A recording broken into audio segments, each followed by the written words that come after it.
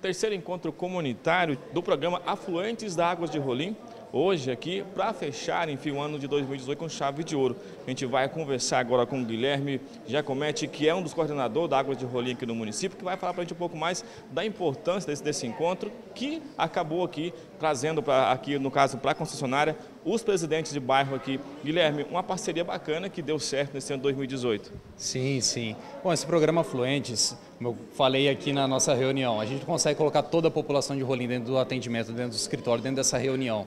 Por isso que os, as lideranças comunitárias, esses eleitos pelo próprio povo, vêm aqui para nós ficar conosco, passar bate-papo, falar sobre tudo que foi realizado, falar o que a população está achando e a gente ficou muito feliz.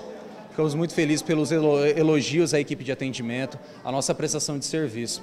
Sim, Rolim de Moura passou por grandes desafios desde 2017, quando a gente assumiu. A gente já fez aniversário aqui, né? Já fez aniversário e a gente veio para ficar. Foi um ano, tem mais 29 pela frente. Os investimentos foram realizados e só começaram.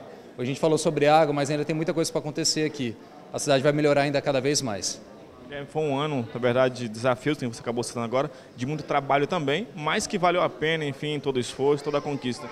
Sim, sim. Bom, o trabalho de saneamento básico não para, um trabalho de 24 horas.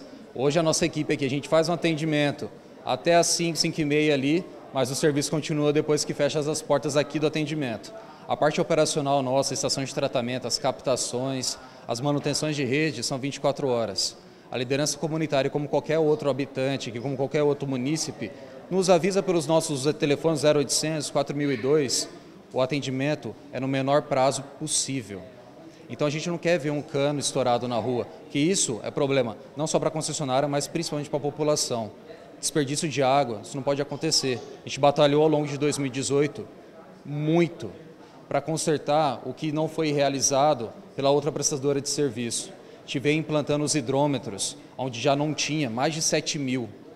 E aí para 2019 a gente vai levar os investimentos agora a substituir o que já era antigo. Acima de 5 anos já não está funcionando muito bem. A gente vai substituir 100%. Hoje a gente tem um contato direto, um canal de comunicação direto com a empresa, onde todas as lideranças comunitárias conseguem falar direto com a parte administrativa né, da empresa. Então qualquer coisa que acontece no bairro hoje, um problema de água que tem, a água não chegar à comunidade, algum vazamento, né, os presidentes da associação de imediato já acionam a empresa, a empresa já dá um respaldo ali na hora, ali, manda uma equipe técnica para poder ir lá resolver, né?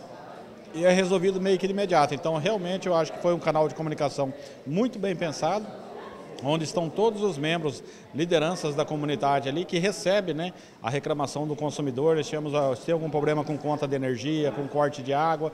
Então, assim, o próprio presidente da associação hoje, ele consegue falar de imediato ali, dentro desse canal, com a diretoria da empresa. É muito importante por quê? Porque você consegue levar um cenário de saneamento mas com tranquilidade para dentro da, da, população. Então hoje nós estamos realmente aqui com vários depoimentos de vários moradores é, que têm todas as suas solicitações atendidas em tempo rápido e isso significa para a gente que nós estamos no caminho certo. Para 2019 já tem novidades. Temos, temos vários programas socioambientais, nós temos o Saúde Nota 10 com os alunos, através de palestras educativas, né, através de concursos culturais, nós vamos ter um programa somente com os professores também, é, momentos com os agentes comunitários de saúde, então são várias ações que vão ser desenvolvidas em parcerias com as secretarias de educação, de saúde e de meio ambiente. O principal, levar saúde para as famílias de Rolim de Moura.